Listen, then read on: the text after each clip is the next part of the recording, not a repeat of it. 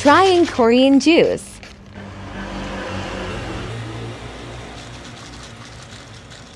Oh, it's delicious. Now Korean chips.